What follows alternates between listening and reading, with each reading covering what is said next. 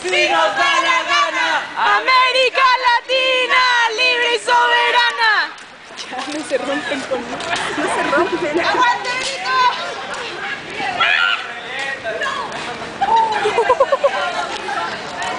Nico! ¡Ah!